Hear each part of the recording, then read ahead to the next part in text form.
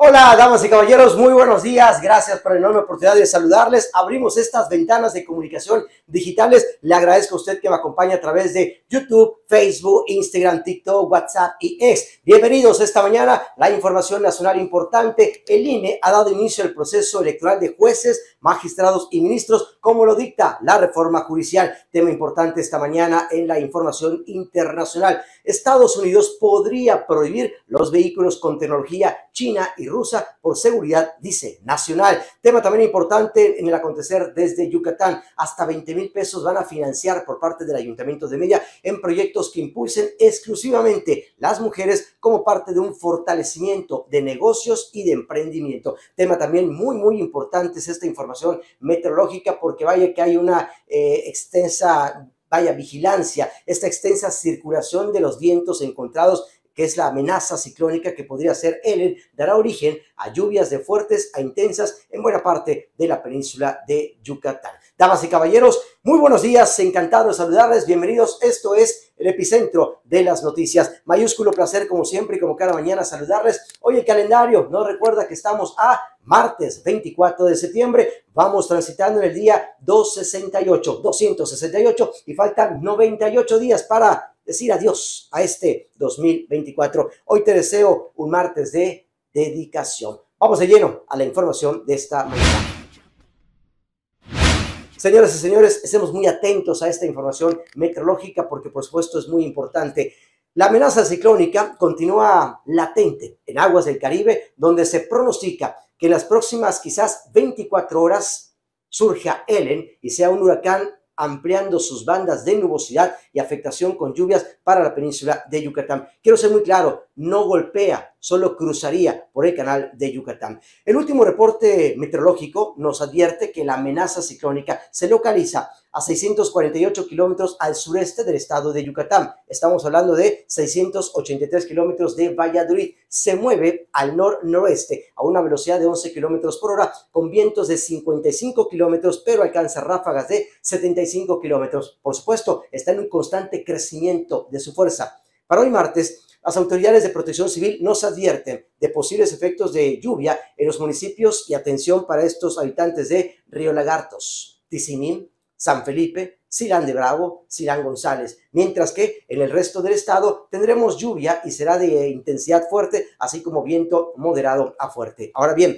esta ya vemos extensa circulación de los vientos localizados frente a la costa de Quintana Roo, dará origen también a lluvias de fuerte e intensa en buena parte de la península, además de un incremento en los vientos y también en el oleaje en la zona costera, comenzando con Quintana Roo. Los pronósticos nos indican que se van a presentar lluvias, por ejemplo, intensas generalizadas de 75 a 100 milímetros en la mayor parte del estado de Quintana Roo. Habrán lluvias fuertes generalizadas de 25 a 50 milímetros en Yucatán, así como lluvias moderadas dispersas de 5 a 25 milímetros en Campeche. No existe, y quiero ser muy claro, no existe riesgo de un impacto directo, solo es un alertamiento por esta trayectoria muy cercana a la península de Yucatán, ya que podría pasar muy cerca de la costa de Quintana Roo la noche quizás de hoy martes o madrugada del miércoles. Desde ayer se han decretado en alerta azul ocho municipios de la entidad yucateca, pero insisto, solamente estaría cruzando, no hay un impacto por el momento que se esté pronosticando. Vamos ahora a la información nacional de esta mañana. El Instituto Nacional Electoral arrancó ya el proceso electoral extraordinario para la designación de jueces, magistrados y ministros de la Suprema Corte de Justicia de la Nación y anunció que estos comicios serán el primero de junio del 2025. El órgano electoral dio también este primer paso para poder acatar o cumplir con este mandato constitucional promulgado el 15 de septiembre en el Diario Oficial de la Federación. Todo esto después de que la reforma del Poder Judicial, impulsada, como usted recordará, por el presidente de México, Andrés Manuel López Obrador, fuera aprobada por la Cámara de Senadores en esta polémica sesión celebrada el pasado 11 de septiembre y ratificada por los congresos locales De hecho, Guadalupe Taide, presidenta del Instituto Nacional Electoral, aseguró que las personas podrán tener la total certeza de que en este proceso electoral extraordinario las entidades que finalmente aprueben sus elecciones judiciales para este próximo 2025 tendrán toda su atención, respaldo, acompañamiento y destacó que finalmente esos trabajos que llevará a cabo el Instituto Nacional Electoral estarán, dice, a la altura de la importancia de esta próxima elección extraordinaria.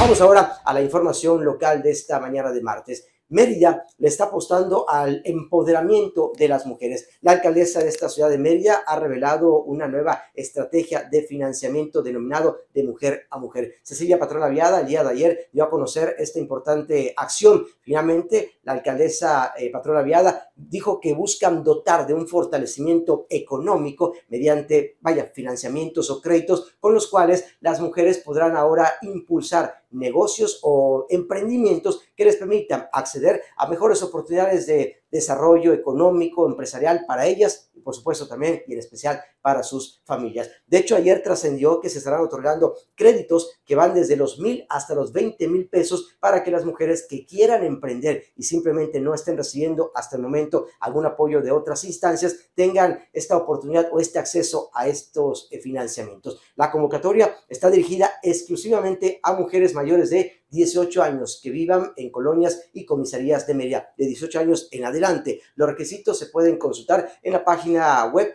merida.gov.mx, incluso también en las redes sociales del Ayuntamiento de Mérida. Vamos ahora a noticias internacionales importantes de esta mañana.